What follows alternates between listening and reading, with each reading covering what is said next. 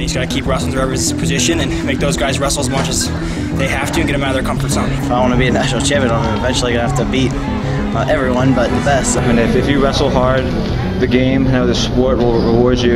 We have to be the bad draws. We have to be the, the ones looking to looking to win, go out there and dominate. You have to be able to do something so well that the people can't stop it, or you got to be able to completely just take them by the blind side. Just wrestle hard for seven minutes. There's no other game plan. I don't feel any pressure. I mean, the only pressure that's there is to do my best. Just got to keep wrestling. I couldn't let the situation overwhelm me. I just had to keep battling back.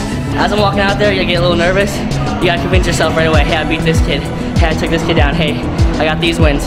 This should be nothing. We gotta go out there, we gotta fight, we gotta scrap, and that's what we do in the room, and that's what we try to carry on to the mat. I don't think about winning and losing every time I walk onto the mat. I pick a fight with that other guy, and uh, that's kind of how I approach each match. Okay, they're warriors. I mean, and that's what we talked to them about. Because they're warriors. They came here to compete. They came here to be part of something special. We don't work and make weight and do all the stuff we do to go out there and not try stuff. You know, he didn't want to wrestle. He wanted to back up. Ain't no way. He wanted to back up whole match, try and sneak one. He snuck one.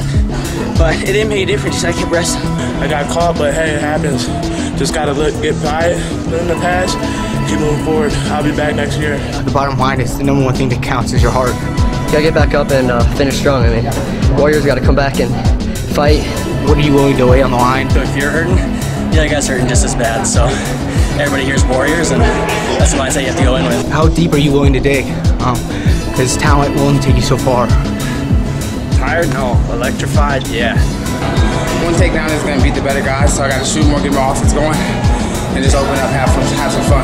All right, you know, we'll, we'll scout them, we'll take a look at them, but, but in the end, if I don't control the match and wrestle how I want to wrestle and how I decide to wrestle, that's when you drop matches. Eat, sleep, conquer, repeat. Just focusing on every single position. You know, when you start to think a minute ahead, two minutes ahead, a whole match ahead, that's when it comes back to bite you. I'm always confident. I don't care what scores, what time's left, what period, none of that. And I trust in that process, and I, and I work hard. You know, you're going to get there, and that's that's for every high school kid. Honestly, if you get in a good program and, and work hard, you can you can be all American. This wrestling, like you gotta enjoy the battle. You can't just enjoy just winning. You gotta enjoy battling, fighting. You know, being out in the mat, being in the moment, just grinding. You know, that's what you have to enjoy.